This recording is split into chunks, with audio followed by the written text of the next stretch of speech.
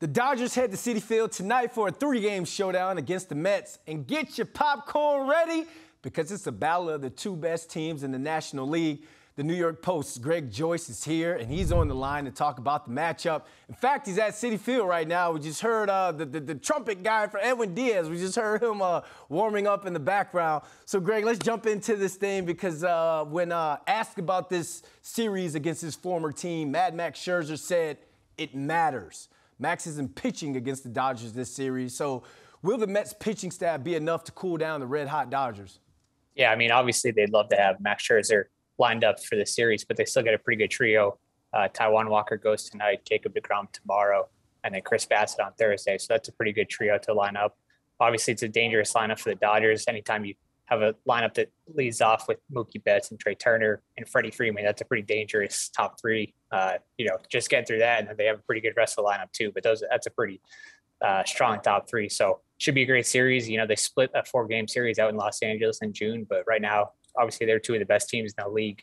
Uh, I mean, the Dodgers are running, trying to run away with that best record in baseball, but should be should be a great matchup. Like you said, they're two of the best teams in the NL. Well, not only the ML, but MLB. So could this be a preview of the NLCS?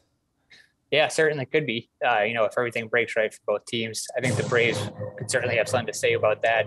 You know, whether or not they catch uh, the, the Mets in the NL East, we'll see the Cardinals have also been playing really well lately in the NL Central to take over that division race. So obviously, uh, you know, some other teams might have something to say about it, depending how it goes over the last month. But know, this is really the, the Mets' last big challenge. Um, you know, for, for, the next few weeks, they have a pretty easy schedule in September. They do have a series against the Brewers and then one late against the Braves. But uh, you know, if they can get some some good footing on this one, I think they're on their way.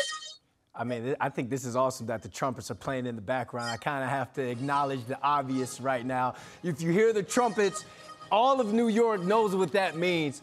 But before you, which team in this series has more to lose? Who has more to gain?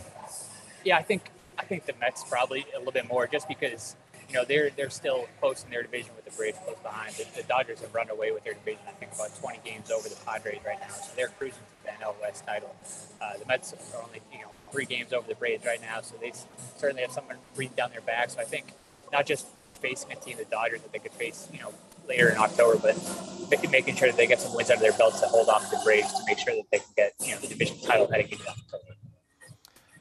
Hey, hey, Greg, thank you. But before you go, since this is a New York Post SNY collaboration, we love to give the fans a little access. Can you turn your computer to show us what's going on in the background?